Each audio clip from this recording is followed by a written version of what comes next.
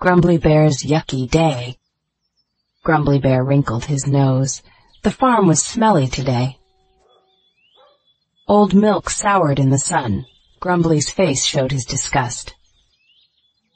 He wanted to play by the duck pond, but the mud smelled worse there. Grumbly tried to help Farmer Tilly. Her compost was a stinky mountain. He held his breath and tipped his hat, anything to avoid the smell. Grumbly's friend Doodle Rooster clucked. Why the long face, Bear?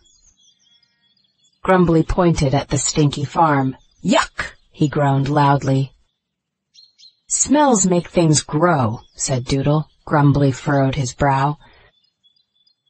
Doodle showed Grumbly some flowers. Their fragrance was sweet and fresh. Grumbly blinked in surprise. Something nice from the stink, he said. Next they saw buzzing bees. They made honey from flower nectar. Grumbly tasted some honey. It was sweet, sticky, and delicious. His disgust was fading. The farm had good smells too. Doodle and Grumbly baked bread next. The aroma filled the air. The bread was golden and warm. Grumbly laughed with joy. Grumbly learned a lesson today. From yuck comes much yum.